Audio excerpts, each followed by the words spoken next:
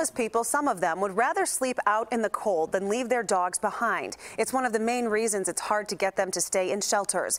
And Leah Bindig knows this and wanted to help. She owns the Aeslin Pup Hub in Chicago's Bucktown neighborhood. She has a lot of extra space, so she's inviting people without a warm place to sleep to come and spend the night with their pets. People have donated hot meals, pet products, sleeping bags, and winter clothing to give anyone with a pet who needs help. So I thought, okay, how do I do this? Who do I need to call? And let's make this happen because this weather is ridiculous and nobody at all, not one human being or dog should be sleeping overnight without help. Leah has been overwhelmed with donations and support on social media. Her big concern is the people who actually need the help won't hear about it. So if you know anyone who needs a place to stay and has a pet, Aeslin Pup Hub will be letting people stay through Saturday. She had two people overnight last night.